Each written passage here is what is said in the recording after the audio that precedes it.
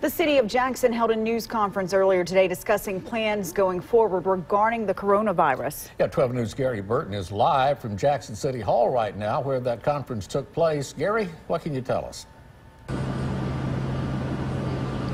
Yeah, today, Mayor Chokwe Antar Lumumba announced the formulation of the city of Jackson's COVID-19 task force. He said it is very important to develop a team of experts to set a plan in place for how they respond to this health issue. The City of Jackson COVID-19 Task Force will consist of the following individuals and organizations. Merit Health, Dr. Timothy Quinn, Jackson State University's College of Health Sciences, Jackson Public Schools Superintendent, Dr. Errick Greene, and we will also be in constant communication with the State Health Department.